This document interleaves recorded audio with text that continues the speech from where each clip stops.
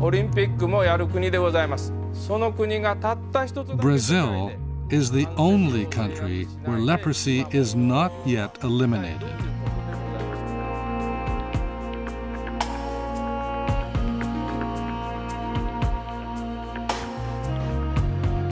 A lack of doctors has led to many people not realizing they have leprosy.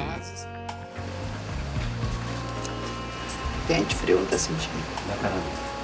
Ela já é um caso, um caso de hanseníase, né? Vai ter que, que tratar.